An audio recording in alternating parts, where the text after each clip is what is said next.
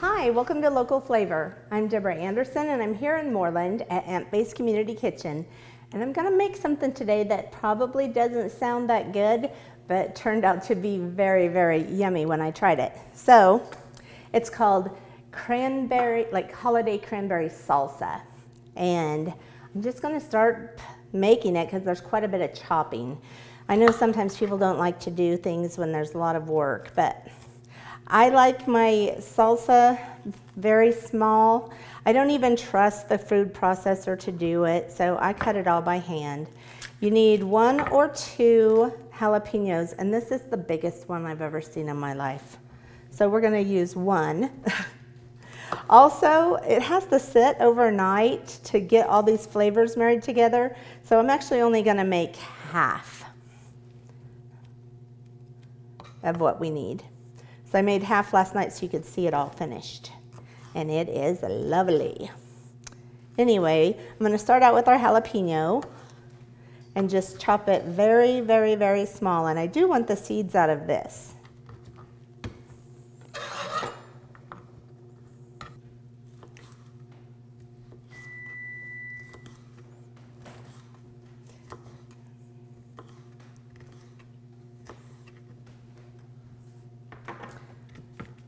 So I'm going to look through and see if I have any really big pieces. I like it really small. I'm putting these in because the cranberries will take the longest, and I'll take a break so you don't have to watch me cut six ounces of cranberries. But I'm also need about a quarter cup of green onion for the whole recipe, so I'm only gonna need a couple of tablespoons.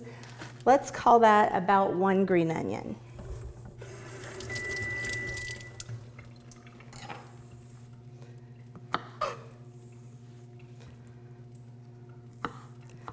So far like regular salsa.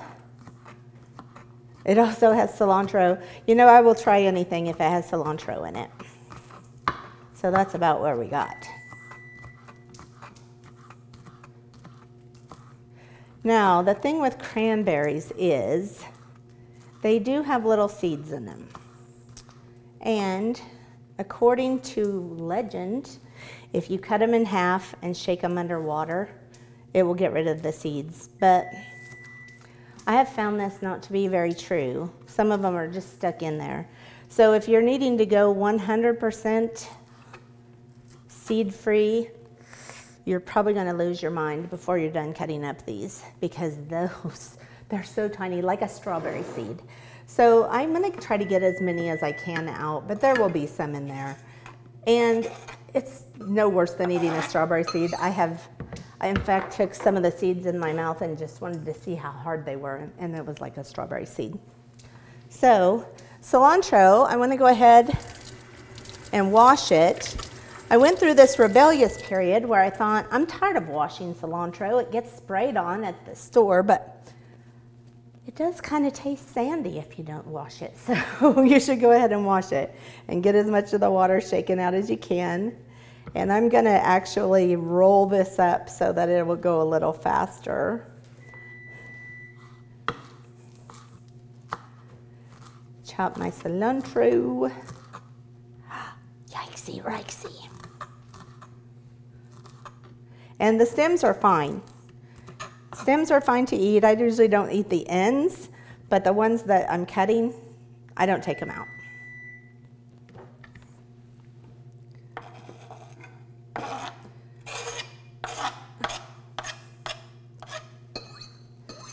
I need two tablespoons total, which means one, but I love cilantro, so I actually go went ahead and put more in. Then I need about one and a half teaspoons of lemon juice. I might just guess on this. Here's a half. So in the big one, we need a whole tablespoon, and a tablespoon is three teaspoons, so I thought one and a half teaspoons, because I made half of it already. Looks like we got extra lemon juice because of the dripping. And a little tiny bit of salt. I'm gonna use this kind so it melts faster, just table salt. It only takes an eighth of a teaspoon in the whole thing, so for a half of one, I'm just gonna do a couple shakes. I'm not worried about getting too much of that either. Then it also has sugar in it. So I need about a half cup of sugar. I'm just going to estimate on this because I don't want a whole half cup. And the last thing, I'm going to put a little bit more. There's sugar everywhere. The last thing I'll talk about is the cranberries because they're such a pain. So cranberries, you can get them around Halloween. You'll find them in the store, and they're there for most, most of the winter, through the holidays for sure. And they're tiny, and you want them to be hard and the nice red. And these are how tiny the little seeds are. I have some that I rinsed already, so I'm just going to cut them in half and throw them in my strainer so I can rinse them. You want to make sure to throw out any that are too soft. This one's gushy, so I'm not going to use it.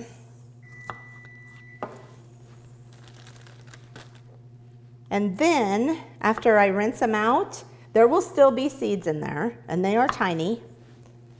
But after I rinse them, I cut them about three times each side, depending on how big it is. Sometimes four. But I like them pretty tiny.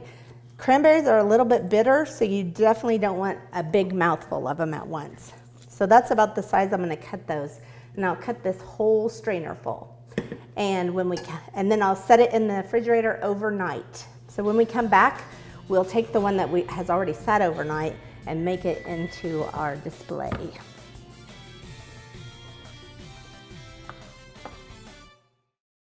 At Nex-Tech Wireless, we are here to help you anytime in any way that we can. I broke my phone. Oh. I don't know what to do. Luckily, you're covered by PhoneGuard. We can get you a new phone today. Hey, is this tracking my workout? Yeah. Oh, thanks, buddy. Oh. Switch to us and get a $100 Visa gift card and half off any smartphone. Hey, how do I get signal in my basement? Turn on the settings for calls over Wi Fi. Nex-Tech Wireless. Time for something different. Good night, Jerry. Trust Rogers and Associates Insurance to keep your peace of mind through all the seasons in life. Whether you're cozy at home memory making with your family, on an outdoor adventure with the top down, floating on a boat, or in the middle of harvest, we can customize an insurance plan that's perfect for you. For all the seasons, we've got you covered. Call us or visit us online to learn more today.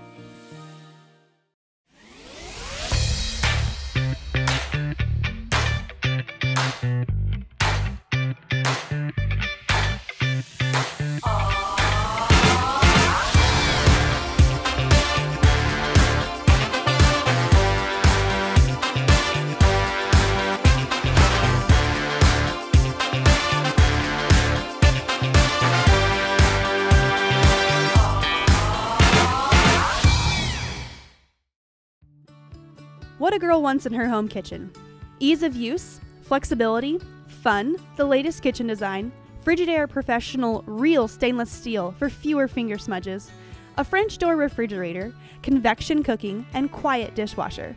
Have the staff at Genuine Appliance in Hays demonstrate new Frigidaire gallery appliances to find what you want. Genuine Appliance at 1224 East 27th Street in Hays. Everything a girl wants. Welcome back to Local Flavor. Um, I have gotten my cream cheese whipped up. It's two bricks of cream cheese and I just let it set out and get to room temp and then I put it in the mixer just to whip it up and make it easier to spread. You've probably been to a party where they have like a brick of cream cheese and somebody pours jelly over it and it's so delicious. Um, but this will be a little bit easier to spread, but it's the same idea. I locked this in. So look how gushy this is. Ah, whipped. I didn't have to buy it. Now I will spread this all over the bottom of this pan, this pie plate. And then when I have all of it, I only have half, remember? I'll put the two whole things in here and then put all of it over the top so it's a nice thick spread. But since we do not have it all, I'm gonna just make a tiny serving size just for the tiny studio crew. So this is a little bit different. We're gonna have it with crackers and graham crackers, whichever we like better. But look how easy that is to spread. And I love my little spreader things too. Don't you love having those around the house? Normally I'd put it all in there, but this is why. I just don't want to have it soaking in for a long time. I'll just, you'll want to just put it together when you're going to eat it. Now, look how this turned out. It has quite a bit of liquid in it um, that came out just probably from the sugar and the lemon juice getting and the vegetables letting some out. So some people like to drain it. I do not because I think it's just a beautiful color. So why not just keep it? But I'm gonna put this on top of the cream cheese. When it was made, when it was fresh, didn't it look so Christmassy with all that red and green? I like the juice. Look at that prettiness.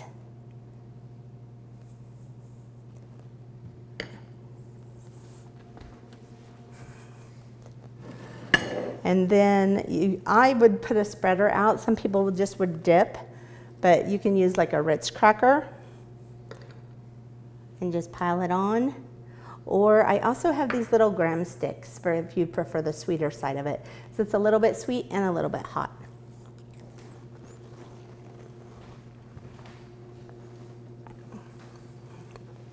I, I really love it so much. Mmm. Mm-mm-mm. I'm gonna try it with the sweet too, but the Ritz is very good.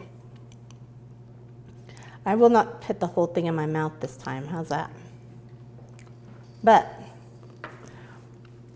it's cranberries are so tart, but it just gives with the other things in there. It it's just a perfect blend. You will not get enough of this. You'll kind of make an embarrassment out of yourself just eating it over and over.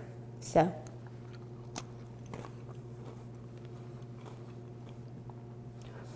And you can chop your vegetables with one of those poundy things, but I wouldn't use a food processor because it'll let too much liquid out. But that's also very good. I would say Ritz is my favorite, but that's very good too. If you have the patience to cut up that many cranberries, I would say absolutely go for it. It is so good. And if you can use your food chopper, that would make it a little faster. You still got to rinse out all those seeds. You don't have to. It's just a courtesy. All right. Thank you. Thanks for joining me on Local Flavor. And I hope you have a chance to try this during the holidays or anytime all year round. It's holiday cranberry salsa. I'll see you next time on Local Flavor.